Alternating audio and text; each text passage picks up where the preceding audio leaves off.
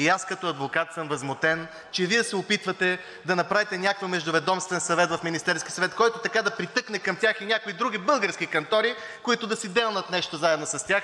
Това Ви разваля образа. Вие вече го нямате този образ, за съжаление, господин Петков, антикорупционния, но аз Ви казах какво ще стане, когато направите правителство с ГЕРБ. Днес Дилян Добрев направо Ви разпори. Той Ви направи за смях пред цяла България.